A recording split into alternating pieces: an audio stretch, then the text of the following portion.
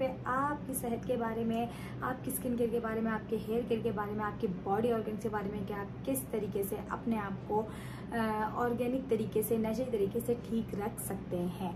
तो अगर अभी तक आपने मेरे चैनल को सब्सक्राइब नहीं किया है तो जल्दी से जाकर करें चैनल को सब्सक्राइब ताकि आने वाली हर नई वीडियो आपको पहले मिल सके। तो चलते हैं टॉपिक की तरफ़। आज का जो मेरा टॉपिक है, वो है यूरिक एसिड अब हम लोग जिस तरीके से सोच रहे होते हैं कि यूरिक एसिड उस तरीके से ठीक हो सकता है, यानी कि एंटीबायोटिक से तो एंटीबायोटिक से यूरिक एसिड ठीक नहीं हो सकता। ये मैं आपको साइंटिफिक साइंटिफिक रीजन के साथ बताऊँगी कि हम लोग एंटीबायोटिक लेते तो ज़रूर हैं, लेकिन हमारा यूरिक एसिड उससे ठीक नहीं होता। उसके लिए हमने खुद अपने आप को सही अप्रोच पे लेकर आना है। हमने अपनी बॉडी को इस तरीके से रखना है कि हमारा यूरिक एसिड जो है, वो नॉर्मल बने।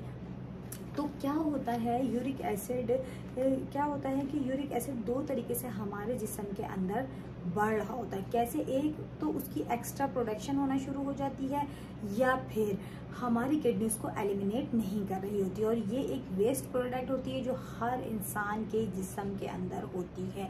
लेकिन हम अपनी बॉडी को इस तरीके से हेल्प आउट कर सकते हैं कि हम खुद से यूरिक एसिड को कम मकदार, बहुत ज़्यादा कम नहीं, यानी कि नॉर्मल मकदार में रख सकें। अगर यूरिक एसिड की मकदार बढ़ जाएगी तो हमें किडनी स्टोन हो सकते हैं, हमें गर्ड्स का प्रॉब्लम हो सकता है, हमें डायबिटीज़ हो सकती है, और हमें बोन्स के अंदर फ्रैक्चर आना शुरू हो जाते हैं। और अगर हमारा यूरिक एसिड कम हो जाएगा, उसका लेवल बहुत ज़्यादा कम हो जाएगा तो हमें ब्रेन में प्रॉब्लम्स आना शुरू हो जाएँगी।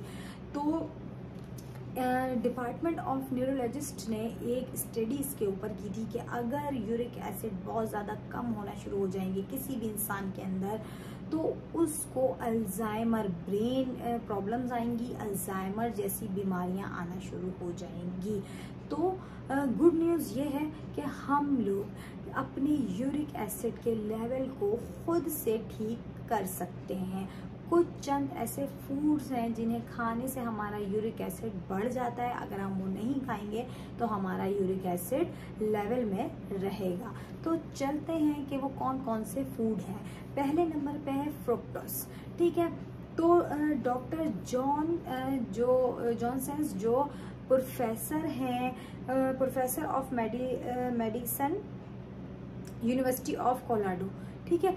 ये क्या कहते हैं कि अगर यूरिक एसिड जो है वो फ्रोक्टोस खाने से हमारे जिसम के अंदर डायरेक्ट बढ़ रहा होता है, ठीक है? तो अब ये जो फ्रोक्टोस है, ये क्या चीज़ है? व्हाट इज़ फ्रोक्टोस ठीक है, ये सोर्सेज हैं, चीनी की सोर्सेज हैं। कैसे? आइस कॉफ़ी या आइस आइस कॉफ़ी या आइस आइस की हम बहुत सारी चीज़ें आइस जूस हो गए फ्रूट जूस हो गए जो हम खाते हैं, हम अपने घर में बना के पी रहे होते हैं, उसके अंदर वो पीने से भी हमारा यूरिक एसिड बढ़ जाता है। कुकीज़ ठीक है ग्रीक ग्रीक योगर्ट्स होते हैं, उसे खाने से जो है फ्लेवर वाले जो योगर्ट्स आ रहे होते हैं उसे खाने से भी हमारा यूरिक एसिड बढ़ जाता है। आइसक्रीम के अंदर भी जो है वो फ्रुक्टस होता है, जिसे खाने से हमारा यूरिक एसिड बढ़ सकता है। अब ये जो फ्रुक्टस है, ये बन किससे रहा है? ये कॉर्न सिरप से बन रहा है। अब ये कॉर्न सिरप क्या है? ये एक जायका है। पाकिस्तान में सबसे ज़्यादा पैसा कमाने वाली कंपनीज़ कौन सी हैं, जो बच्चों की जेली बना रही हैं? उसके अंदर वो क्या करते हैं? फ्रुक्टस डालते हैं। आपने देखा होगा ना, बच्चे कितने शौक से जेलीज खा रहे होते हैं, क्योंकि फ्रुक्टस का जायका कोई इतना अच्छा होता है कि बच्चों के मुँह पे चढ़ जाता है और बच्चे फिर वो जेली नहीं छोड़ते या बाहर के कुकीज़ नहीं छोड़ते, खाते हैं, उनको पसंद आता है। इसीलिए क्योंकि वो उसके अंदर फ्रुक्टस डालते हैं। अब हमारी जो वाइट चीनी है, उसके अंदर 50 परसेंट फ्रुक्टस मौजूद होता है। दूसरे नंबर पे क्या है?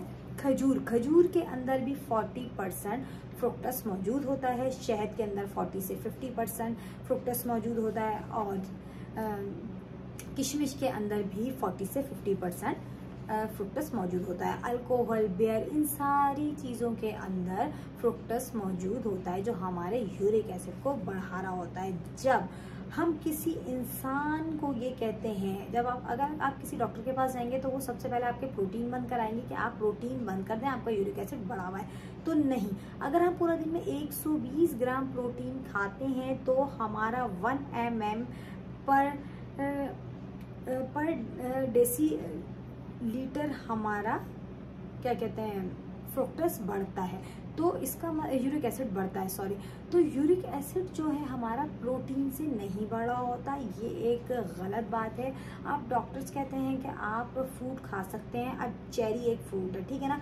चेरी अगर आप आठ खाएँगे तो वो आपको नुकसान नहीं देगी। अगर आपने चेरी पंद्रह खा ली तो उसके अंदर फ्रुक्टोस है, वो आपको नुकसान दे जाएगा, वो आपके यूरिक एसिड को बढ़ा देगा। वो लोग जो यूरिक एसिड के जिनको प्रॉब्लम होती है, उनके लिए कीटो डाइट उनके लिए इंटरमीडिएट फास्टिंग नहीं है, उन्हें ये चीज़ें नहीं करनी।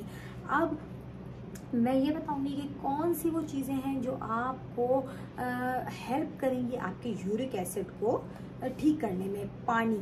जितना ज़्यादा आप पानी पियेंगे, आपको पेशाब आएगा। ये वेस्ट प्रोडक्ट आपके जिसम से बाहर निकलेगा, ठीक है? पानी का इंटेक आपने ज़्यादा रखना है। अगर आपने ग्रीन वेजिटेबल्स लेनी है, पकान के, खानी है तो उनको ज़्यादा कुक नहीं करना है। वो भी बहुत ज़्यादा आपके यूरिक एसिड को कम करने में मदद देती हैं। फिर पोटाशियम 300 ग्राम पोटाशियम आपने रोज़ लेना है। या फिर आप कॉफ़ी ले सकते हैं, ब्लैक कॉफ़ी। ब्लैक कॉफ़ी भी पीने से आपका यूरिक एसिड बहुत जल्दी कम हो जाता है। फिर ओमेगा थ्री के सप्लीमेंट्स आते हैं, वो लेने हैं आपने। अगर आप बहुत ज़्यादा, अगर आपको पेन होता है ना, बहुत सारे लोगों ने उनको ये जोड़ों में पेन हो रहा होता है, यूरिक एसिड की वजह से अंगूठे के अंदर, पाँव के अंगूठे के अंदर पेन होना शुरू हो जाता है। उसके लिए आपने हल्दी का कैप्सूल लेना है। ठीक है? हल्दी का कैप्सूल बेस्ट है यूरिक एसिड वालों के लिए। तो आ, ये थोड़ी सी इन्फॉर्मेशन देने के लिए आप लोगों को मैंने ये वीडियो बनाई है ताकि आप लोग खुद से अपनी राइट अप्रोच करके एंटीबायोटिक की तरफ़ ना जाएँ और खुद से कुछ चीज़ों को रोक के अपनी यूरिक एसिड को कंट्रोल में कर सकते हैं। आज की वीडियो अच्छी लगी तो वीडियो को लाइक करें, चैनल को सब्सक्राइब करें और अपना बहुत सारा ख्याल रखें। और वीडियो की शेयरिंग लाजिम करें। मिलते हैं नेक्स्ट वीडियो में। Bye bye